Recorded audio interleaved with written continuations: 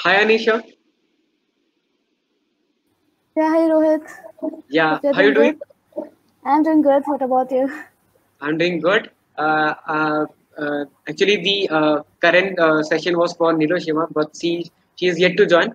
So I think uh, you'll be fine with your session. Yeah, okay. Yeah. So, Yeah. Okay. Cool. So, uh, Anisha, uh, like going uh, further, uh, I'd request you to give a quick intro about yourself, what you're doing, and what your talk is going to be about. And meanwhile, I'll share your screen on the stream. Okay, yeah. Uh, sure. Okay. Um, so uh, I'm Anisha Swain. Uh, I am uh, an associate software engineer at Red Hat, and uh, I have been a part of uh, Red Hat's performance and scale engineering team since a year.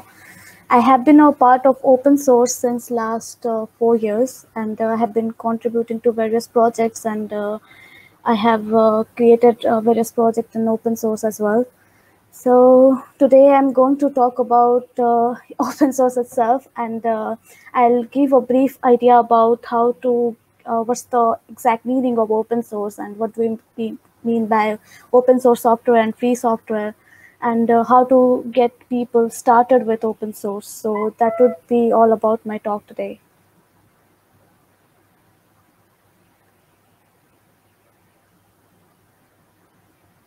Cool, Anisha. Uh, so, uh, Anisha, can you share your screen so that I can put it on the screen?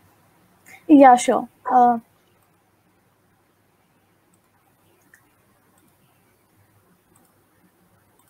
so let me know, uh, Rohit, if you can, if it, this is visible Yes. Okay. Yeah. Uh, Anisha, your screen is live. Okay, let me know when we can start with this. Yeah, you're good to go. Okay, Good.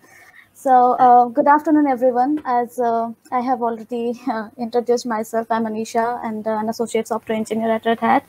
And uh, I have been doing open source since last four years. And uh, today we're gonna talk about open source in brief. So without much introduction, let's step into the world of open source and see what we have got here. So, uh, open source is a very broad field and uh, can't be covered in 15 minutes, but uh, I'll uh, try my best to give you a brief idea about uh, when uh, the open source, the whole idea of open source started, and what exactly is open source, and where and how you can get involved in that. So, as most of us might already know, uh, much of world's largest companies are open to public. Uh, that means anyone can download the source code behind it. Uh, if a program is open source, uh, its uh, source code is uh, freely available to its users. That means the, the user and pretty much anyone else have the ability to take this source code, modify it, and distribute their own version of the program uh, open source software allows developers to stand on the shoulder of giants, I would say, and uh, create their own software. So we can actually say that open source has uh, taken over the world.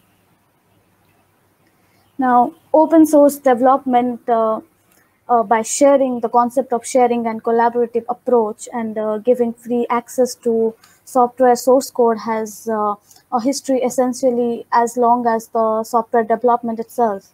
Uh, in um around uh, 1900s, uh, software was uh, a finite commodity. So uh, it used to get accumulated and wanted to be sold as a product. At uh, first, open source software was the only was, was only maintained by a dedicated few, and uh, in late 1990s, uh, interest and participation uh, uh, with this initiative increased remarkably when uh, the Linux came into mainstream recognition. Mainstream recognition. Later in uh, 1998, Open Source Initiative was uh, formed uh, as an educational advocacy and stewardship organization, which is indeed an important moment of the history of collaborative development approach. More detailed history of the open source initiative can be found from the opensource.org uh, website itself, which I have linked in the slide, which will be shared later. As uh, we have already discussed, open source software is uh, software with uh, source code that anyone can inspect, modify, and enhance. So, so source code is the part of software uh, that most computer uh, users don't ever see. It's code uh, code computer programmers can manipulate, change, and uh, how a piece of so- it's actually how a piece of software or a program or an application works. So programmer programmer who have access to computer program source code can uh, improve that program by adding uh, features to it or fixing parts that doesn't work correctly. This can be done uh, with uh, more efficient and collaborative and uh, for me natural approach using open source.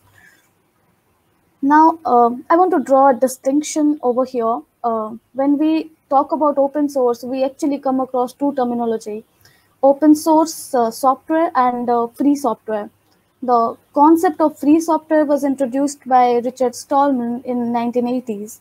The focus of free software is uh, on what the recipient of software is permitted to do with the same. It means that the user have the freedom to run, copy, distribute, study, change, improve, or enhance the software. Open source applications are generally freely available, although um, there is nothing stopping the developer from uh, charging for copies of uh, software. You know, um, that's not what free software refers to. The free here is uh, uh, by mean free as in freedom, not free as in rupees or dollar. Free Software Foundation focuses on ethics and uh, morals of using software that can be controlled or modified by user. In other words, it's uh, focus. It focuses on uh, user freedoms, and uh, the open source software movement was created uh, to focus more on practical or pragmatic reasons. Uh, it advocates uh, uh, wanted to focus on practical benefits of having open source software that would be beneficial more to the business rather than ethics and morals. However, both terms refer to essentially um, same set of license and uh, software, and uh, each term implies just uh, different underlying values. However, the concept that we are going to refer to uh, in this talk is FOSS, which is free and open source software. Free and open source software is uh, software that uh, can be classified as both free and open source. So open source doesn't mean just access to the source code. The distribution terms of open source software must agree with the following criteria uh, uh, according to the organization. So free distribution of the project, uh, like so according to this, the license shall not restrict any user or group from selling or giving away the software as a component. Uh, the, uh, then the source code, according to the open source uh, community, the program must include the source code and uh, it must allow distribution of the source code as well. The source code must be in a preferred form in which programmer can modify the program. Now, it also must allow modification and derived works from the original project and uh, must allow new changes to be distributed as well. Now, there is a slight trick here uh, it also talks about integrity of the author's source code, which means we can also restrict the source code from being distributed in modified form only. So the license will allow the distribution of patched file only, not the original one. So yeah, open source uh, strictly follows no discrimination against any person, group, or uh, any field or any endeavor.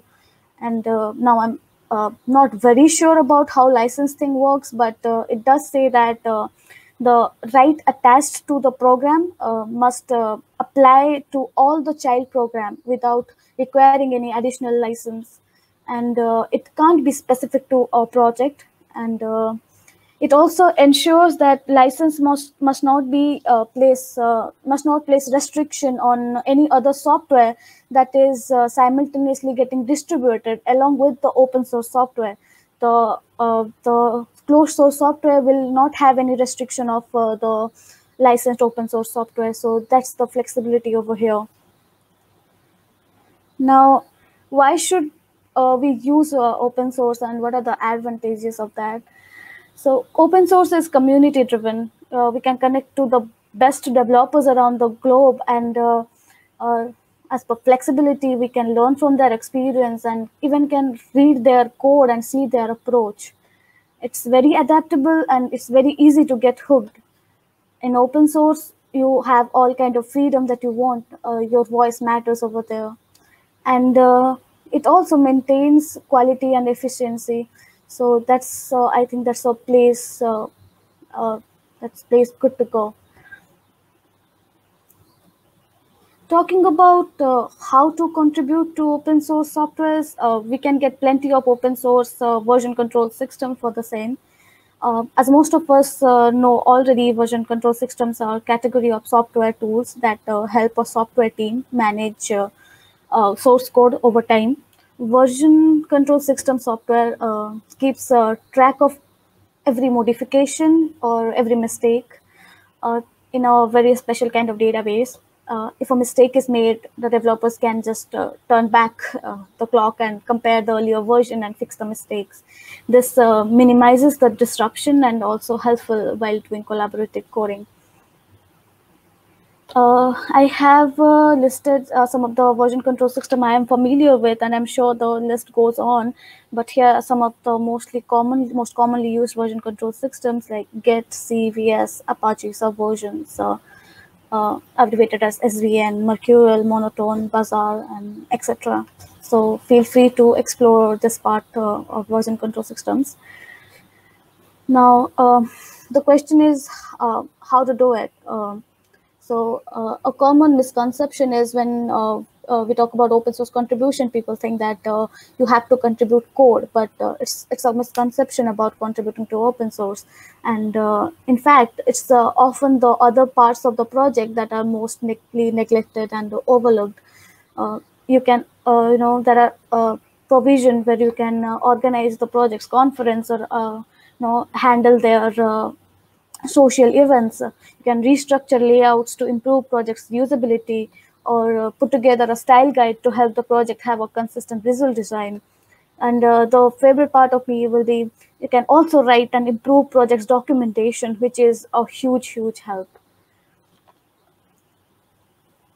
Now, if you want to uh, contribute technically, there are a couple of ways to get started with the projects, like creating own project every project should start with uh, an identified need. If you feel that existing project on the GitHub or Bit, uh, Bitbucket or any other uh, VCS don't offer functionality you'd like to build, then create your own open source solution. It's as simple as that.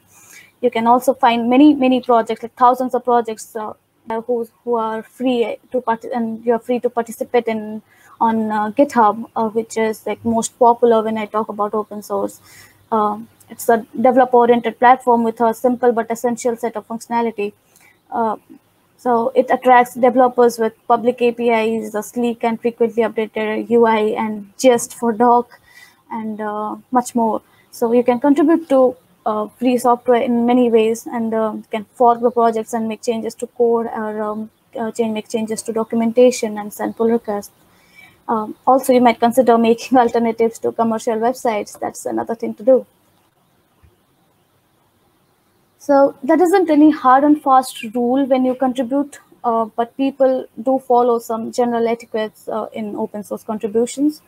If uh, there is a documentation, uh, do read it because it will have essential information about the project. And uh, also as a project owner, it's always a good idea to add README files or contribution guidelines for new contributors. Then uh, looking at the existing issues before opening a new one, because uh, the issue might just be uh, a duplicate of the old one and uh, which makes it very messy to keep track. Uh, it's also a, a, always a good idea to provide as much info as possible when reporting a bug. For example, if you're reporting a design bug, then it's a good idea to add a, uh, GIF image or a, video so that the developer can uh, just get to know what exactly the issue you are facing with if there are contribution guidelines, then follow them. And uh, the three most important thing that I would say is to be empathetic and understanding, collaborate and cooperate with other people in your community, and uh, say thank you for uh, people to people who have who have uh, helped out with uh, the open source contributions. I have also added some resources uh, in the slide if you want to get a detailed overview of what are the etiquettes that people follow. That isn't a hard, hard and fast rule, but uh, just good to follow.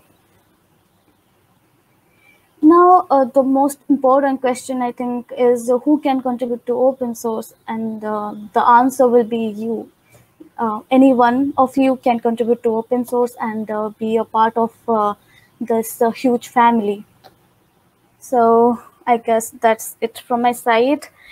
Uh, I would like to encourage each and every one of you to be a part of this large community. And uh, for me personally, I would say open source is a way of life because uh, um, ultimately it's all about helping each other and collaborating and be empathetic towards uh, a better future.